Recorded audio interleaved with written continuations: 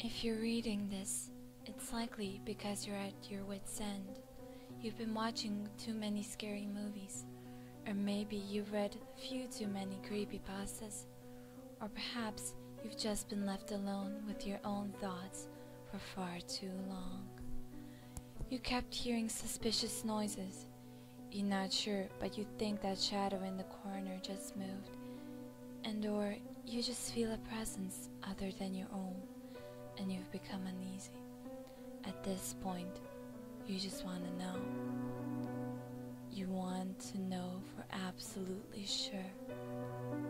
Is there something in your house? Should you be worried about it? What's going to happen if you succumb to your desire to close your eyes and go to sleep? Well, you've come to the right place. If you really want to know, I will now delegate to you the first of many methods. This ritual is designed to detect the activity of the supernatural, demonic, and or worse. Here's what you'll need. A staircase, preferably one with 12 or 14 stairs, excluding the landings. But you can do it with up to 16. It's highly inadvisable that you use a staircase with 17 or more stairs or a staircase with 11 or less stairs. A small portable fan. It's suggested one that runs on battery. If you have one, you can use a small fire puffer as an alternative. A cup of water, a handful of dirt, a candle. Make sure it's one that does not burn out easily, and something to light it with. A picture of your house or whatever stood in the place of your house from as far as back as you can get. A picture of your house as it is now, a pair of dice, two watches or small clocks, preferably analog, but if you have it digital, it will be fine. A food offering, it must be an animal product, a mirror, a handful of ash, a few dust bunnies, a bug or another living thing easily overpowered. Something from your body, a toe, fingernail, lock of hair, saliva, blood, tooth, etc salt, a weapon, preferably one made of silver. To begin, you will want to prepare your stairs. You must be aware of the exact time you begin this ritual, and you must begin during the afternoon, as the entire ritual must be completed during PM hours. If you have 12 or 13 stairs, you will start by standing on the bottom landing. If you have more, then stand on the bottom stair and place the first item on the next stair. From here recite, It is from here henceforth I shall commence. On the first stair, place a small fan, but don't turn it off. If you're using a fire puffer, fill it up with air and don't puff it out. Place it on the stair instead of a fan. As you do recite, Here is the air that mortal breathes. On the second stair, place a glass of water as you do, recite, Here is the water that mortal drinks. On the third stair, place a handful of dirt. Try to spread it out as wide as you can. As you do, recite, Here is the earth on which mortal stands. On, it, on the fourth stair, place the candle, but don't light it. Leave whatever you're intending to light it with next to the candle. As you do, recite, Here is the fire that burns mortal's hands. On the fifth stair, place a picture of your house from the past. As you do recite, Here is the time that has come to pass. On the sixth stair, place a picture of your house that is now and roll the dice beside it. Pray that it does not come up with a high number. As you do recite, Here is the present and the die are cast. On the seventh stair, place one of your watches. As you do recite, Here comes the future, the time ticks by now. On the eighth stair, place your food offering. As you do, recite, Here is the offering for the devil's mouth. On the ninth stair, place the mirror. As you do, recite, Here is my image, in God's likeliness I trust.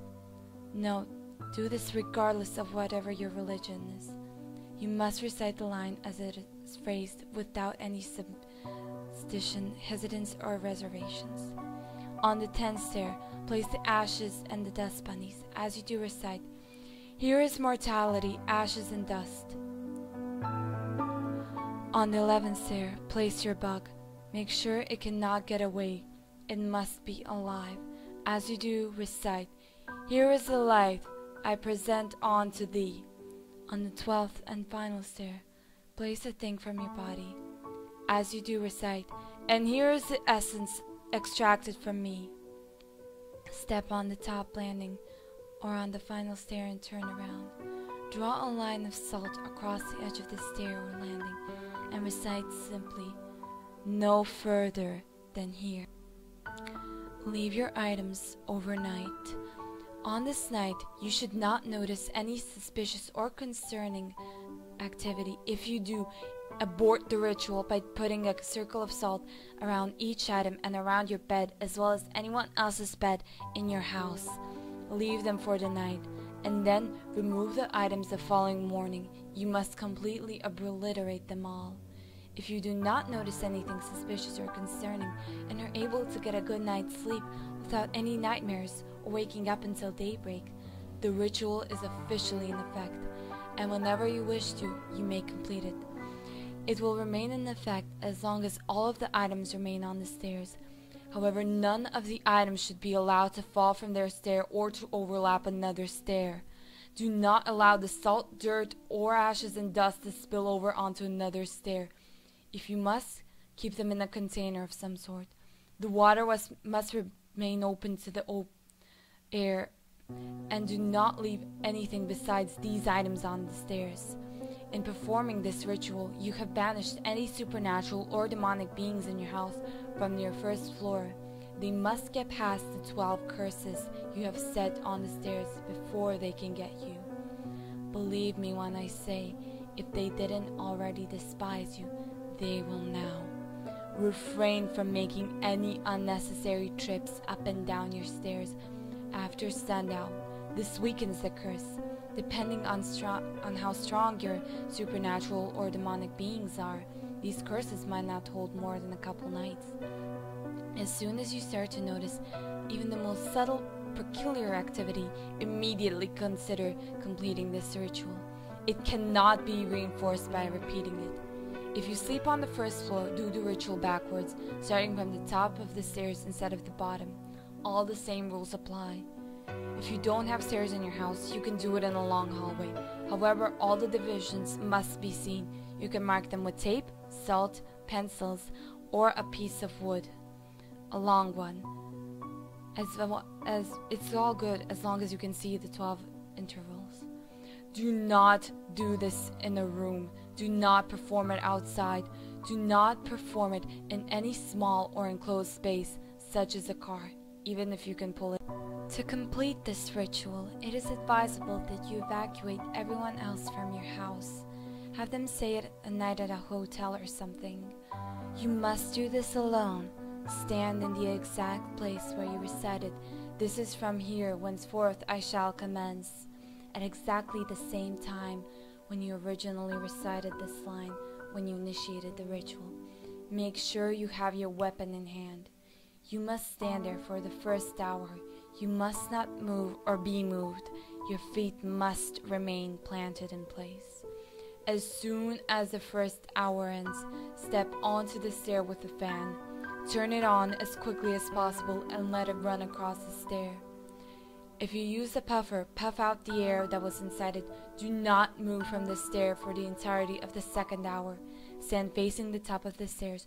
Do not, under any circumstances, turn around or look behind you. As soon as the second hour ends, step onto the stair with a cup of water. Leave the fan running or make sure there is no air in the puffer. Drink the entire glass of water as quickly as possible. Do not move from that stair for the entirety of the third hour. Stand facing the top of the stairs. Do not, under any circumstances, turn around or look behind you. As soon as the third hour ends, step onto the stair with the dirt. Your feet must both be within the pile of dirt that you threw on the stair. If you put the dirt in a container, dump it onto the stair as wide as possible to give yourself more space to stand on. Do not move from the stair for the entirety of the fourth hour. Stand facing the top of the stairs. Do not, under any circumstances, turn around or look behind you. As soon as the fourth hour ends, step onto the stair with a candle on it and light it. You may stand beside it or hold it up against your face. Make sure it does not go out. Do not move from that stair for the entirety of the fifth hour. Stand facing the top of the stairs. Do not, under any circumstances, look behind you. As soon as the fifth hour ends, step onto the stair with a picture from long ago. Without turning around, you must use the candle from the last stair to burn the picture. Don't blow out the flame until the picture has been turned into ash, or at least you cannot tell what the picture is anymore. Do not move from that stair for the entirety of the sixth hour. Stand facing the top of the stairs. Do not, under any circumstances, turn around or look behind you. As soon as the sixth hour ends, step onto the stair with the picture of the present day. You must, rip this picture in as many times as the dice indicated without letting it fall apart. Do not move from the stair for the entirety of the seventh hour. Stand facing the top of the stairs. Do not, under any circumstances, turn around or look behind you.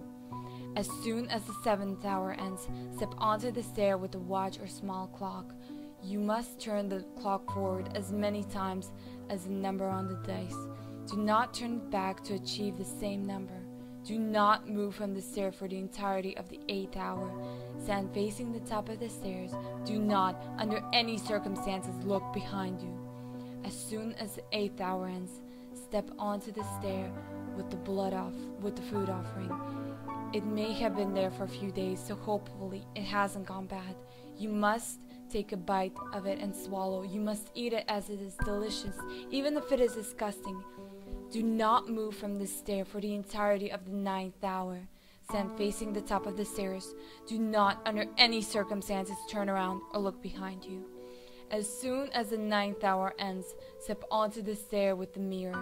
Look into the mirror and look only at your face. Do not try to use the mirror to look behind you. No matter what you see in the mirror, you must not look away. Do not move from the stair for the entirety of the tenth hour. Stand facing the top of the stairs. Do not, under any circumstances, turn around or look behind you. As soon as the tenth hour ends, smash the mirror on and step onto the stairs with the ashes and dust. You must place a drop of blood onto them. It must be your blood and it must be fresh. Do not move from that stair till the entirety of the eleventh hour. Stand facing the top of the stairs. Do not, under any circumstances, turn around you or look behind you. As soon as the eleventh hour ends, step onto the stairs with the bug. Kill the bug. Do not move from that stair for the entirety of the twelfth hour. Stand facing the top of the stairs. Do not, under any circumstances, turn around or look behind you. As soon as the twelfth hour ends, step onto the stair with the thing for your body. You must swallow it whole. You must not wash it down with anything. Do not move from the stair for the entirety of the thirteenth hour. Stand facing the top of the stairs, and do not, under any circumstances, look behind you or turn around. As soon as the thirteenth and final hour ends, step on to the place where you recited, no further than here. Make sure you have your weapon in hand. Turn around and brace yourself.